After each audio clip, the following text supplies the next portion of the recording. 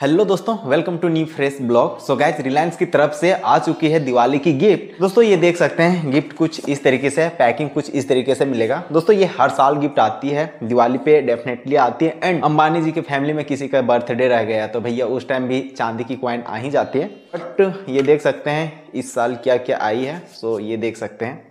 नहीं दिख रहा होगा भैया, कैसे नहीं दिखेगा.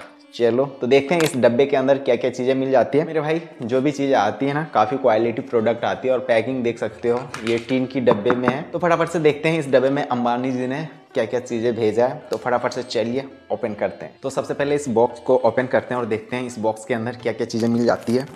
सो पैकिंग काफ़ी ज़बरदस्त है भाई। हर साल के जैसा इस साल भी पैकिंग कुछ अच्छा ही मिला है। वैसे, हर साल ये बॉक्स आती है, ठीक है? तो सेम बॉक्सेस रहते हैं बट कलर चेंज रहता है। तो ये देख सकते हैं, कुछ इस तरीके से। है इसे साइड रख लेते हैं और देखते हैं कि इसके अंदर क्या क्या चीज़ें मिल जाती हैं। सबसे पहले देखते हैं बॉक्स के अंदर, एक यहाँ पे मिल जाता है भैया। रिलायंस फाउंडेशन की तरफ़ से ये ग्रीटिंग कार्ड आप पढ़ पढ़ सकते हो। यहाँ काफ़ी चीज़ें थोड़ा सा यहाँ पे लंबी चौड़ी लिखी गई है, ठीक है? तो आप इसे पढ़ सकते हो। बेसिकली ये इंग्लिश लैंग्वेज में है तो जो जो भैया इंग्लिश के जानकार हैं, पढ़ ही सकते हैं, ठीक है? आगे बढ़ते हैं और ये देख सकते हैं कुछ इस तरीके से मिल जाएगी। सो so, देखते हैं इसके अंदर क्या चीज़ें हैं। बाकी बात इसके अंदर कुछ ऐसा और देखने को नहीं मिलेगा। तो फटाफट से यार देख लेते हैं। तो सबसे पहले इस थैले में निकलता है। कैसो जी हाँ दोस्तों ये काजू का पैकेट निकलता है और कुछ नया मिला है ठीक है? और और देखते हैं क्या चीज़ें मिलती है।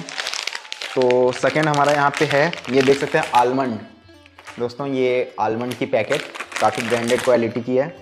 और यहाँ पे साफ़ देखने को मिलेगा भैया नॉट फॉर सेल यहाँ पे नीचे देख सकते हो। तो ज़ाहिर सी बात है, उतनी बड़ी कंपनी तो नॉट फॉर सेल लगा के ही देगी। और और देखते हैं क्या मिलेगा। तो ये रेसिन आई मीन किसमिस जिसे कहते हैं, ठीक है। तो ये है, और सेम ये तीन चीज़ें बेसिकली मिली है। और इसके अंदर कुछ भी चीज़ें और देखने को नहीं मिलेगा। बाकी बात ये थैला काफ़ी अट्रैक्टिव थैला है। आप इसे मार्केट में यूज़ कर सकते हो या फिर अपना गुल्लक बना सकते हो पैसा रखने के लिए। वेल तो मेरे भाई, ये छोटा सा वीडियो कैसा लगा? नीचे कमेंट सेक्शन में बता देना। वीडियो अच्छी लगी तो लाइक करके जाना। चैनल पर पहली बार आए तो सब्सक्राइब करके जाना। दोस्तों, मिलते हैं जल्द एक नई वीडियो के साथ। तब तक अपना ख्याल रखना।